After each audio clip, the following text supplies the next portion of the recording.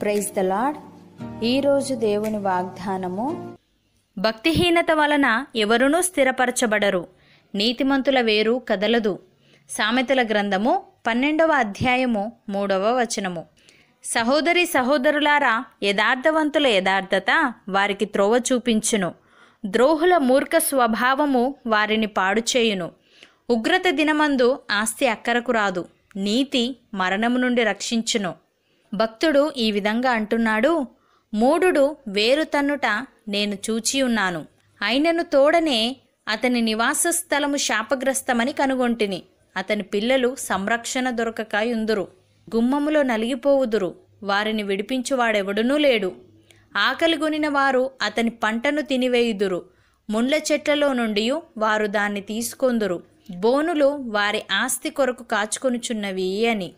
ప్రియులారా యథార్థవంతునికి యహోవ ఏర్పాటు ఆశ్రయదుర్గము. పాపము చేయువారికి అది నాశనకరము. నీతిమంతుడు ఎన్నడూనూ కదిలింపబడడు. భక్తిహీనులు దేశంలో నివసింపరు. అపోస్తలుడైన పౌలు కొలస్సీలకు వ్రాస్తూ ఈ విధంగా అంటున్నాడు. మీరు ప్రభువైన క్రీస్తు యేసును అంగీకరించిన విధముగా ఆయన ఎందు వేరుపారిన వారై ఇంటి వలె కట్టబడుచు మీరు నేర్చుకొనిన ప్రకారముగా విశ్వాసమందు స్థిరపరచబడుచు కృతజ్ఞతాస్థుతులు చెల్లించుటయందు విస్తరించుచు ఆయన ఎందుండి నడుచుకునుడి? ఆయనను అనుసరింపక మనుష్యుల పారంపర్యాచారమును అనగా ఈ లోక సంబంధమైన మూల పాఠములను అనుసరించి మోసకరమైన నిరర్ధక తత్వజ్ఞానము చేత మిమ్మును చెరపట్టుకొని పోవువాడెవడైనా ఉండునేమో అని జాగ్రత్తగా ఉండుడి. ఏలేనగా దేవత్వం యొక్క సర్వ పరిపూర్ణత శరీరముగా క్రీస్తునందు నివసించుచున్నది అని.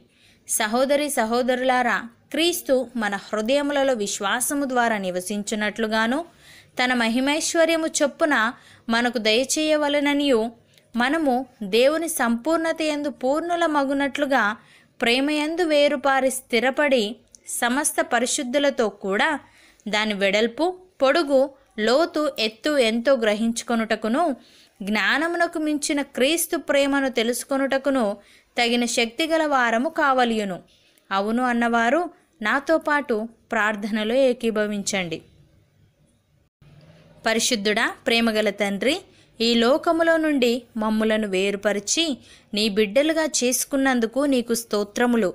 తండ్రి మేము నీ యందు భయభక్తులు కలిగి నీతిగా యథార్థముగా జీవించే వారముగా ఉండుటకు సహాయము దయచేయమని మేము నేర్చుకొనిన ప్రకారముగా విశ్వాసమందు స్థిరపరచబడుచు కృతజ్ఞతాస్థుతులు చెల్లించుటయందు విస్తరించుచు నీ అందుండి నడుచుకొనుటకు కృపచూపమని ఏసుక్రీస్తు నామమున ప్రార్థిస్తున్నాము తండ్రి.